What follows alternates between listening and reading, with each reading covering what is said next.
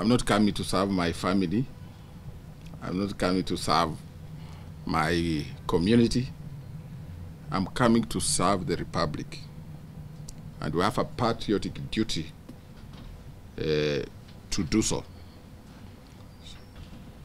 Whatever we do, let us have some time to refer to the constitution of our republic. This constitution is what makes us stay together like this.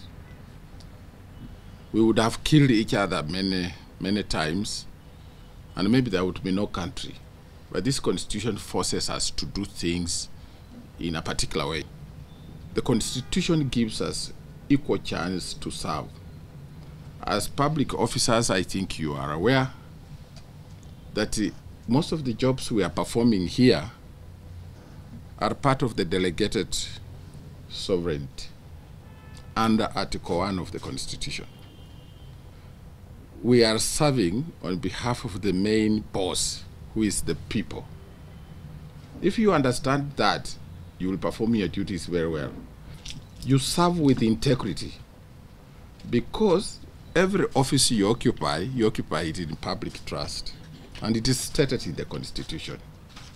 Come into government on the platform of the bottom-up thinking. And uh, I expect that all of us in our departments pick a copy of the bottom-up manifesto to understand the direction of government.